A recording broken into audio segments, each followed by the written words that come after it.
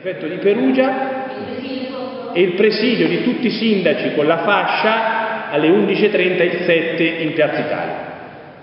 Però è ovvio che dobbiamo lavorare. Rimoduleremo tutte le uscite, ci sarà una riduzione della spesa, daremo degli ulteriori segnali su questo tema del costo della politica, al di là della retorica che si è posta, nei comuni non ci sono sprechi. Chiaro? Non è il, i 3.200 euro per 12 mensilità del sindaco di Perugia o di Terni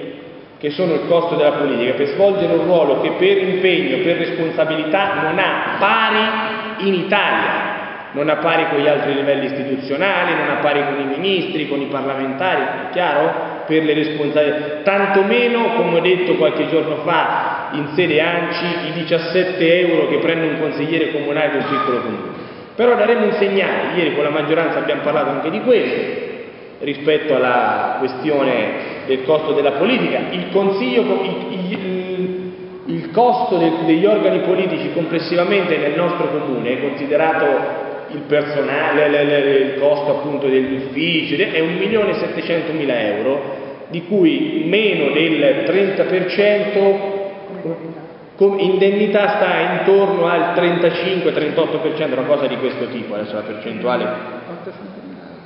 Sì, beh, insomma, stiamo intorno, intorno alla, alla metà, sono i compensi, ma non è che noi possiamo pensare di confondere i costi del funzionamento della democrazia con gli sprechi, se no li eliminiamo, facciamo quelle follie di avere un sindaco e basta, non c'è più nessuno, ma non siamo disponibili a cedere sulla democrazia.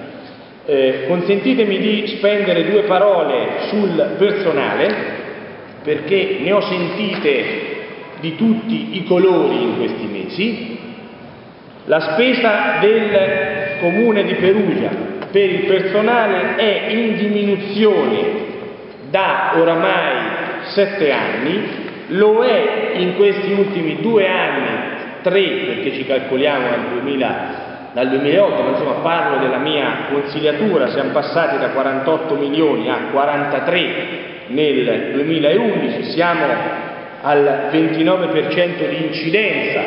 il tetto massimo di incidenza della spesa del personale sul complesso del bilancio del comune è 40%, noi siamo al 29,50%, il, il personale è diminuito da 1347 unità, è passato a 1293, ma il tema che è oggetto giustamente di attenzione, perché anche in questo caso credo che dal livello nazionale a livello locale dobbiamo dare ulteriormente dei segnali, il tema dei dirigenti. Siamo passati da 43, parliamo appunto della fase nella quale ho svolto un ruolo, da 43 unità a 36 per una riduzione di circa 400.000 euro di spesa, sono aumentate il numero delle posizioni organizzative a invarianza, quello che voi chiamate mini dirigenti, che credo sia invece un fatto positivo, la possibilità che i quadri intermedi possano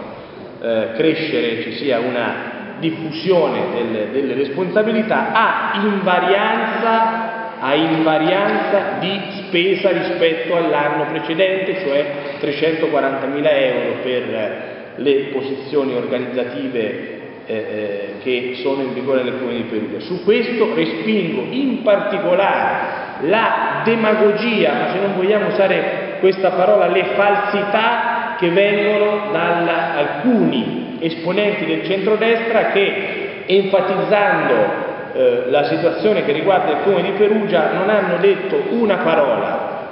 sul fatto che in situazioni di crisi a livello nazionale sono aumentati i ministeri, i dirigenti, che non è stato fatto nulla, cosa che si dovrebbe fare per diminuire i compensi delle alte cariche dello Stato, degli alti funzionari dello Stato, perché non è possibile i doppi incarichi, qualche giorno fa è uscita un'inchiesta sul giornale nazionale che parlava proprio di questo, di alti funzionari che sono messi fuori ruolo perché ricoprono altri incarichi, ma va avanti sia la carriera che lo stipendio, ah, mentre io dico che questa è una cosa sbagliata e opero per ridurre la spesa dei dirigenti del personale mantenendo la qualità, non facendo di questo però un elemento come dire, di paradigma assoluto che va bene, perché io la spesa del personale la posso ridurre chiudendo i miei 14 asili nido a gestione diretta. Questo è un disvalore, non un valore. Chiaro, dato che non è obbligatorio, dato che non è obbligatorio i miei 14 asili nido, ma io li voglio mantenere e li voglio mantenere con questo modello gestionale, la spesa per il personale dobbiamo calare quella che possiamo recuperare attraverso l'efficientizzazione della macchina e è il lavoro che stiamo facendo. Voglio ringraziare e salutare il questore, il comandante regionale dell'Arma dei Carabinieri, il comandante provinciale dell'Arma dei Carabinieri che lasciano il loro incarico, hanno fatto un buon lavoro e meritano la gratitudine della nostra città. Sul tema della sicurezza ci sarà da parte mia una richiesta al Ministero dell'Interno, al prefetto, agli organi di pubblica sicurezza perché facciano ancora di più quello che è il loro mestiere. Sul tema della sicurezza ci sarà un inasprimento da parte del Comune allo spazio di sostanze stupefacenti, alla lotta all'abuso di alcol, con controlli ancora più severi, con l'emanazione, come vedete, di un regolamento di polizia urbana che recupera anche l'impossibilità di emanare ordinanze. Non ci spaventeremo di qualcuno incatenato e chiederemo, voglio su questo punto essere molto chiari. Noi dobbiamo difendere l'onorabilità di cittadini perugini che sono nati e cresciuti a Perugia e di cittadini perugini che vengono da altri paesi che sono qua integrati e che vivono bene. Per fare questo dobbiamo essere durissimi con coloro che vengono al nostro paese a commettere reati e dato che è evidente da dati oggettivi che ci sono alcune comunità nell'area della eh, criminalità più presenti di altre, vuol dire che c'è un canale che dobbiamo interrompere. Mi riferisco prevalentemente a paesi che si affacciano, il continente africano che si affacciano al Mediterraneo, in particolare tunisini che sono presenti nella nostra città che vengono per delinquere, nei prossimi giorni scriverò agli ambasciatori di, queste, di questi paesi per chiedere di tutelare prima di tutto i loro concittadini onesti che vivono nella nostra città, di avviare campagne nei loro paesi di scoraggiamento a venire a svolgere attività delinquenziali qui, comunicheremo alle ambasciate informalmente perché non c'è dato nessun canale Tutte le volte che sapremo che i cittadini di quei paesi commettono reati, noi invieremo queste ambasciate generalità e foto di questi cittadini, perché non è che nei loro paesi si sognano di svolgere questa attività e nel nostro lo fanno con una tranquillità enorme. Chiederemo non l'istituzione di CIE che so benissimo che il governo non farà, ma l'ampliamento di posti nei centri di identificazione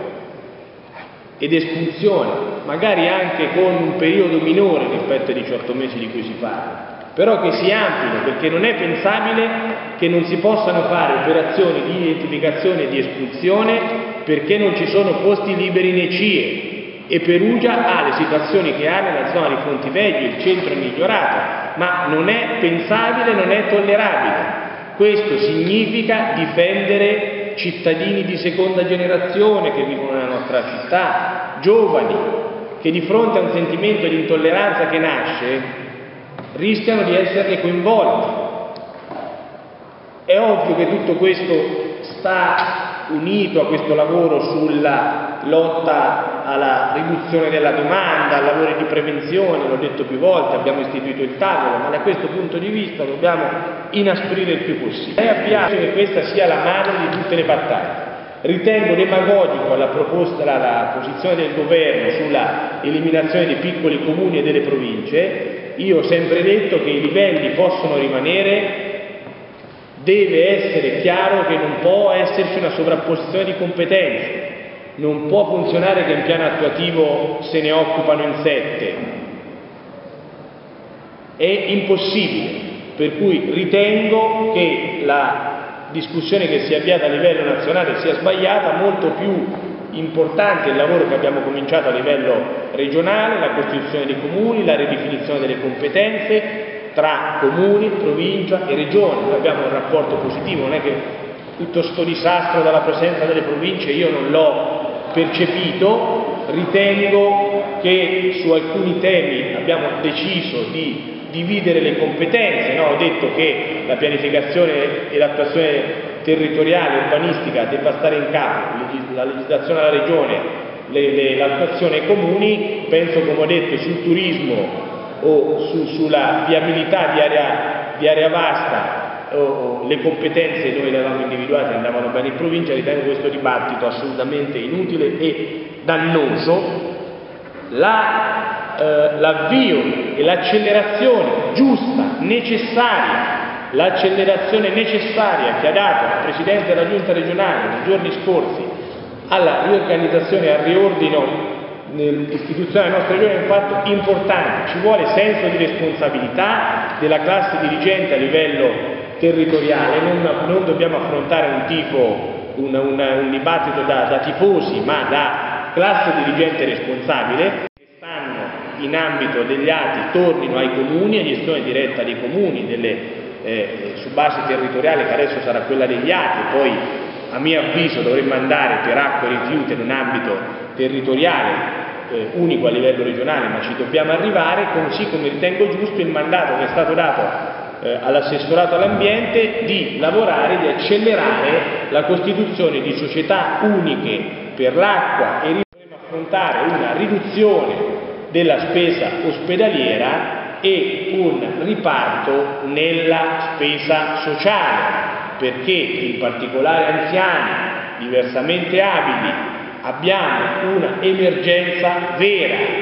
per cui la razionalizzazione che dobbiamo mettere in campo nella, eh, nella sanità, nella spesa ospedaliera, la dobbiamo riversare nel territorio. Dunque, sofferto molto la eh, chiusura delle circoscrizioni perché avevamo tanto personale volontario che lavorava in un territorio di 450 km quadrati. Abbiamo svolto, come ci eravamo impegnati con il nostro programma, un lavoro che abbiamo portato a compimento sulla possibile riorganizzazione dei consigli quartieri e era pronto per andare in partecipazione, ma voi capite che in questo contesto pensare di andare, eh, passare per un'elezione di consigli ci prenderebbero per pazzi, cioè discutono di chiudere le regioni, le province, i comuni, eh? noi non possiamo pensare di riavviare, sarà un ragionamento che magari razionalizzando la spesa nel momento in cui si tornerà al voto potremmo riprendere in considerazione, ma sto, eh, sto appunto valutando una maggiore presenza politica amministrativa nei quartieri, ma prevalentemente politica, eh, che ci possa da un lato consentire di i cittadini e recepire al meglio le istanze. Stiamo valutando l'adeguamento del piano regolatore dopo dieci anni dalla sua entrata in vigore, è cambiata ovviamente un'epoca e una fase, una sua, eh, avvio, una sua fase di avvio, di espletamento del, del piano, ritengo utile verificarne la sostenibilità all'interno dei principi che hanno eh, dire, regolato del 2002, cioè la fine del consumo del territorio e dell'espansione territoriale, il, eh, la rivisitazione nella città compatta e la possibilità di dare magari risposte ad una esigenza di riqualificazione, di completamento sia di spazi pubblici, di vuoti urbani che di esigenze private sia in campo produttivo che in campo residenziale che nella città si sono, si sono sviluppati. Urbana della eh, sostenibilità ambientale, la scelta di come abbiamo già fatto in questo ultimo periodo, la valorizzazione dell'efficientizzazione energetica e quant'altro sarà al centro della nostra attività. Dentro a questo lavoro il tema della casa è un tema fondamentale, avvieremo nel corso delle prossime settimane, anche questo ne abbiamo parlato, ma siamo arrivati alla fase finale, la eh, vendita degli alloggi eh, di edilizia residenziale per utilizzare quelle risorse da un lato per le manutenzioni, dall'altro per l'avvio di una nuova fase di edilizia, di edilizia pubblica. Dentro alla questione eh, della riorganizzazione urbanistica, lo abbiamo detto alla sala dei notari qualche settimana fa e ribadito nell'avvio della cabina di regia eh, presso la, la Giunta qualche, qualche, settimana fa, il tema fondamentale è la presenza della università la difesa e il rilancio della qualità della didattica e della ricerca passa anche attraverso un processo di riorganizzazione che anche in questo caso supera i vecchi protocolli che erano stati firmati dieci anni fa per eh, la riorganizzazione dell'università. eh, oggi hanno preso, eh, ripreso l'attività 1800 bambini nei nostri nidi, nelle scuole materne posto in meno, non c'è stata una riduzione, non c'è stata nessuna chiusura, è un fatto assolutamente straordinario eh, dentro al contesto che avete visto, l'avete rilanciato voi, di difficoltà che vive la scuola dopo la riforma Gelmini, ma il 9 di settembre, presso una consueta conferenza stampa, daremo anche il quadro complessivo dei servizi e dell'attività. L'ultima cosa che voglio dire la, la riservo allo sport, ovviamente fare in bocca al lupo alla società per l'avvio del campionato che è vicino, mi sembra che le prime performance stanno andando bene, ieri abbiamo fatto bene in Coppa, continuo a sostenere che abbiamo fatto bene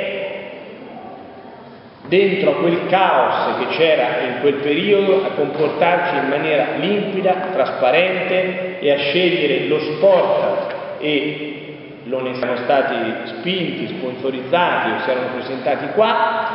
hanno fatto una fine che voi è nota, da quelli che hanno comprato società da altre parti a quelli che magari avevano affari in altre realtà, per cui io ringrazio ancora la società, ma rivendico a questo comune l'onestà e la trasparenza.